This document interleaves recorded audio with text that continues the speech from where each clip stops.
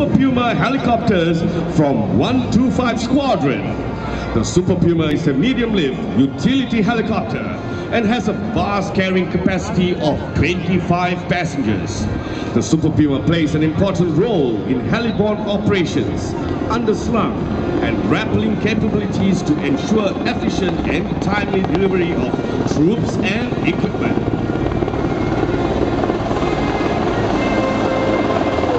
Super Puma is a dynamic and reliable platform.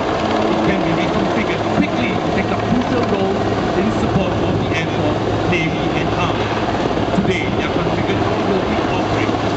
Ladies and gentlemen, watch closely and you will see our commando roping down the helicopters. Roping operations are conducted in high hover when landing the aircraft is not possible due to unfavorable ground conditions.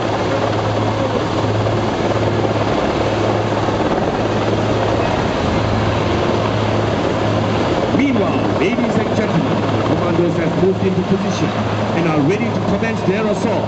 Use of air power at this juncture will give them great mobility and lethality. So, the ground force commander has called in for air support.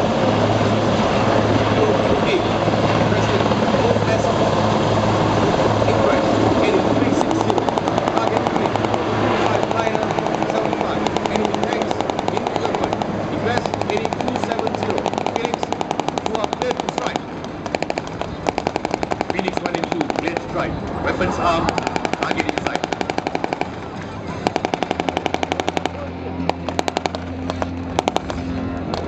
Ladies and gentlemen, boys and girls, making your way into the battlefield from your right are two F-16s conducting a coordinated strike mission.